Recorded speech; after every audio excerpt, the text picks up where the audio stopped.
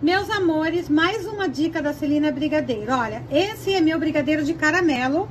Eu já ensinei pra vocês aí, vocês têm a receita. Olha que massa, gente, maravilhosa. Olha isso, ó.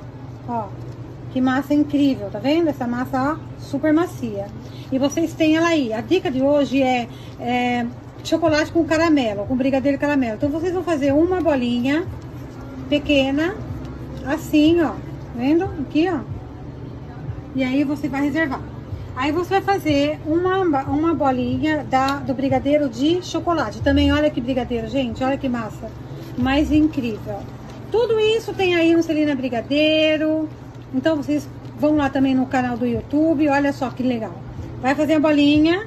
Tem gente que pergunta, Celina, você coloca manteiga? Não coloco, gente, mas na massa já, quando você começa a bolar ela, já fica manteigada, ó.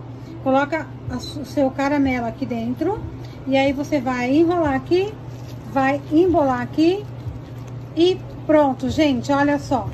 Você vai ter, ó, o seu brigadeiro de caramelo, de chocolate com caramelo. Olha isso, que delícia, gente. O que, que você acha? Aí você joga no seu confeito de preferência e você come, tá? Eu vou jogar aqui num, num confeito uh, tradicional. Peraí, deixa eu ver. Vou colocar nesse aqui no meu tradicionalzinho. E depois eu vou dar uma dentadinha nele pra ver o que acontece.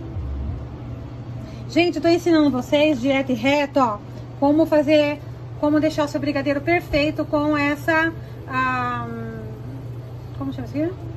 Com essa Peneira. peneirinha. Olha aqui, gente, olha que belezinha. Olha que brigadeiro mais perfeito. Quem não quer comer um brigadeiro desse? Até eu, nhame. Olha, gente, fica aí que vocês vão ver uma coisa.